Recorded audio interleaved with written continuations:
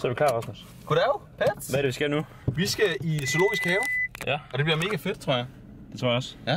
Jeg har ikke været der for, eller jeg har været der, da jeg var sådan noget tre år eller sådan noget. Og øh, jeg skal være oppe ved Rasmus, som I nok ved, i, ifølge titlen. Og øh, som sagt, vi skal suge, og så skal vi egentlig bare chille i dag. Ud at spise senere. Ud at spise senere. Jeg skal vise dig København. Ja, og jeg skal lige have sele på. Ja, det skal du. Jeg er sådan din guide. Det er jo dig, der kører, så Åh oh, ja, ja, selvfølgelig. Så det er mig, der får bøden. Nej, nu er du over 15 Det er år. bare- Er du ikke over 15? du kan godt køre bil, eller hvad? Ja, det kan jeg godt. Men Okay, er du over 15 år? Jeg er 25. Så guys, så er vi lige parkeret Britney. Øh, Rasmus bil der. Nu skal vi ind i suge og se, hvad fanden der er. Øh, dyr, jeg håber, som sagt, der er bjørn. Eller simpelthen der er nogle, øh, det ved jeg ikke, der er ikke løver, er det det? Jo, det tror jeg. Er der løver? Jo, jeg tror faktisk, jeg læste i går, øh, eller efter det i morges, at der var nogle løver derinde, der havde spist en løveunge. Jeg tror, det var i København. Seriøst? Ja. What the fuck? og det skal vi ind og se på, så det bliver nice, så lad os lige hurtigt komme derind. Så er vi kommet ind. Rasmus er pænt i gang med at tage billeder der.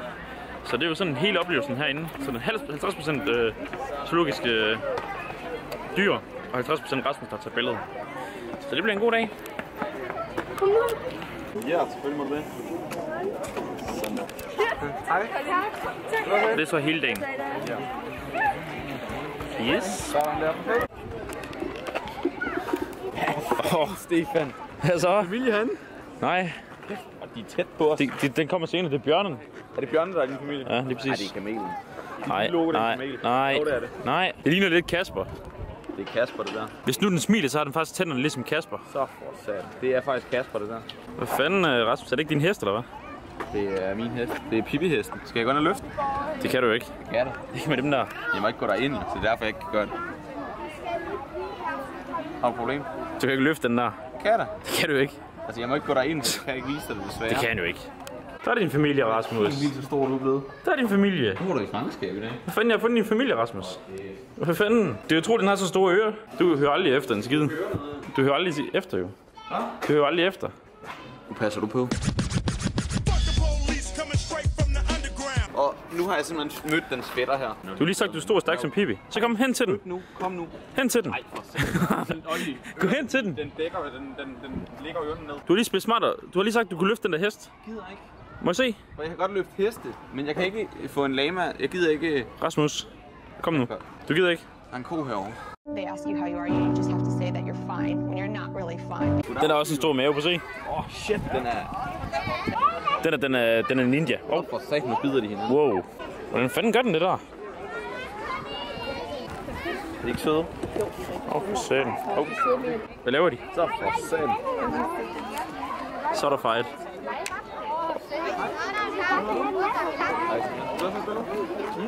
Hyggeligt tage det telefon. Sådan noget derovre. Ja. Skal vi over og se på dem? Ja, det skal vi. Vil du ikke lige sige farvel til din familie her hurtigt Hold først? kæft. Vil du ikke det? Kæft, den er grande. Ja. Er det din, Mor er blevet stor. Au, okay, det var en vits. var det din mor, sagde du? Nej, det var en vits. Men se, det er den flygt. De, de flygter. De gider, hold kæft, de gider ikke. Det er Madagaskar. De stikker af. Borsted. What? Nå, er det alle dine fædre, eller hvad? du simpelthen. Hej, bro, have vi os. Der skal man sgu ikke lige ind. Ej, den pissede lige. Ej. Fuck. Den står lige og øh, petser lidt. Altså, zebra. Vi har et par Yeezys, der går derovre. Nej. Hvor er præcis? Og giraffer. Giraffer. Vi har endelig fundet nogen, der er på højde med mig. Ja, det er fandme løgn. Du er sådan en dværg. Det var en vits. Det er altså ikke for sjovt, de der fugle der. Dem skal man ikke fuck med, tror jeg ikke. Det er jo, det er jo, det er jo vanvittigt. Jeg tror ikke... Au, altså de der, de skader der i naturen, ikke? De er helt fine, stille og roligt. Men de skader der er herinde. Allan! Allan! Steve! Allan!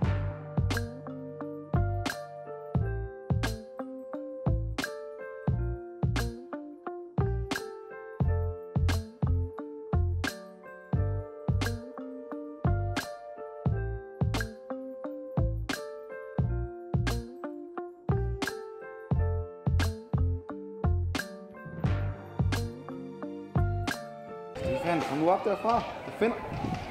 Ved du hvad? Ved du, Var der? Jeg tror, ved du hvad, Rasmus? Jeg, tror- jeg tror, den leder efter din hjerne.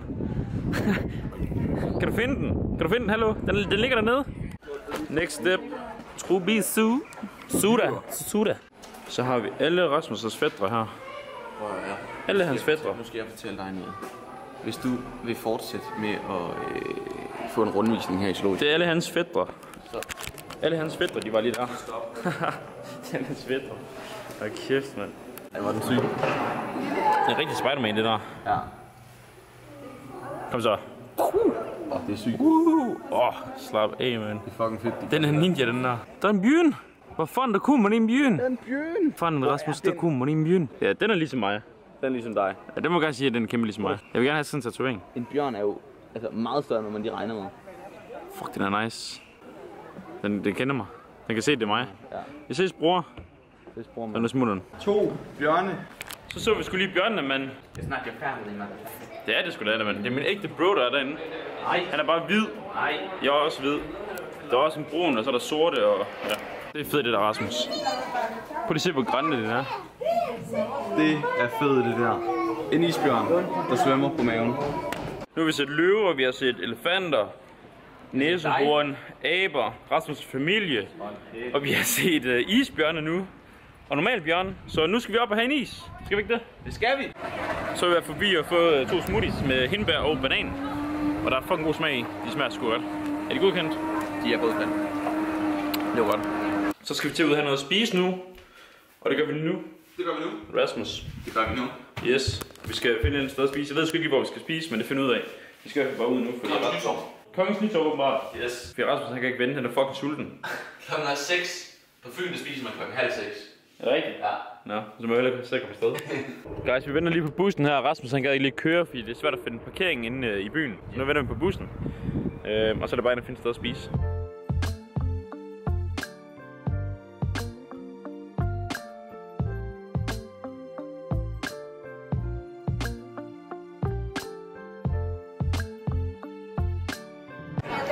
Så er vi på restauranten.